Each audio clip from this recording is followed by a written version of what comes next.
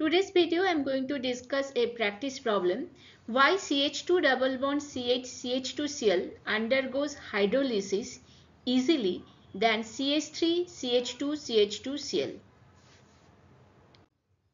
First compound is allyl chloride and second one is the propyl chloride. For allyl chloride first carbon chlorine bond breaks and it gives allyl carbocation. Allyl carbocation is a primary carbocation but still it is a stable because it undergoes resonance.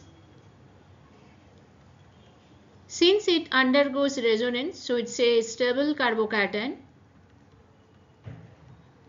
and the reaction proceed via SN1 mechanism.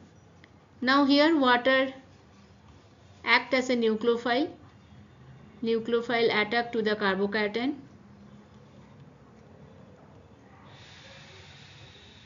So then we are getting this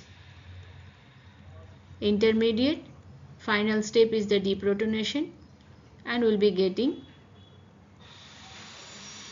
allyl alcohol.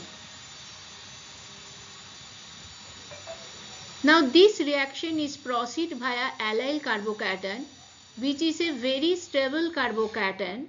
So that's why the reaction will be faster. Now next compound, this is a propyl chloride, carbon chlorine bond breaks. We get a primary carbocation but it is unstable because there is no stability factor like inductive effect or resonance.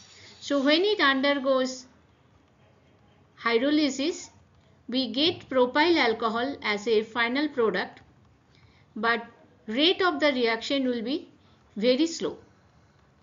Since the carbocation which is forming, which is unstable, so that's why rate of the reaction is slower.